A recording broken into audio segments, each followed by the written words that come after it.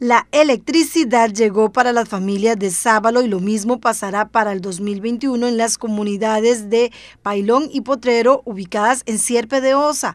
En total serán beneficiadas aproximadamente 50 familias gracias al proyecto que lleva a cabo el Instituto de Desarrollo Rural consiste en la colocación de postes, anclajes e instalación de 8.7 kilómetros de tendido eléctrico.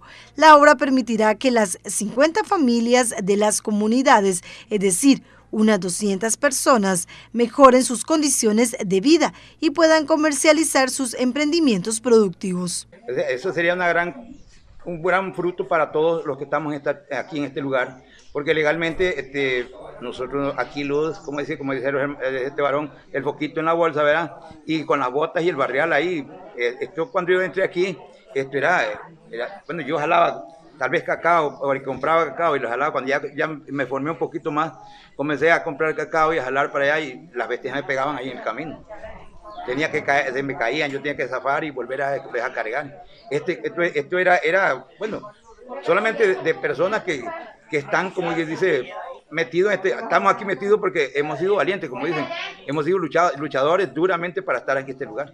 Ok, y ahora con el cambio de tener electricidad. Sí, pues ahora con el cambio ya es otra, otra, otra, otro, como dijo, otro gallo los canta aquí a nosotros, ¿verdad? ¿Por qué? Porque estamos viendo la, el adelanto, el desarrollo que va tomando poco a poco gracias a las instituciones y el INDERI. Y bueno, ya ellos con el INDERI se, pues, se acoman con el ICE y ahí estamos nosotros, estamos aquí recibiendo el beneficio. Estábamos sin luz, entonces es muy diferente los cambios de aquí a allá porque aquí pues ya hay uno, las comidas es diferente, no es igual que las comidas de allá, porque ya aquí no se podían refrigerar, no había refrigeración, no se usaba luz, había candelas, uno usaba las candelas o los focos, porque ya al no haber luz, solamente es esa la manera de uno hacer las cosas totalmente en el campo.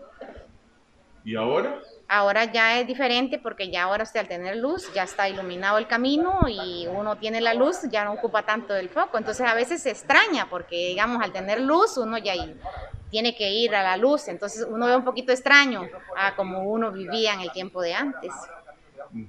Y ahora es mucho mejor. Ahora es mucho mejor, hay mucho, mucho mejor beneficios para los niños, los jóvenes, que ellos van al colegio y tal vez se, se alumbran con candela y ahora con luz es diferente porque tienen la luz, que es más visión para ellos, es mucho más facilidad, más fuente de trabajo. La inversión total la realizó el Instituto de Desarrollo Rural por un monto de 243 millones de colones. Para su realización fue necesaria la debida coordinación con la Municipalidad de Osa y el Instituto Costarricense de Electricidad, institución que aportó mano de obra, apoyo técnico y fiscalización del proyecto. También participó el Sistema Nacional de Áreas de Conservación OSA con los permisos necesarios para el desarrollo de las obras. El proyecto inició en el 2020 y se extendió hasta este 2021. Actualmente el tramo principal ya se encuentra finalizado. Las obras fueron lideradas por la Oficina de Desarrollo Territorial del INDER en OSA y apoyadas por el Consejo Territorial de Desarrollo Península de OSA.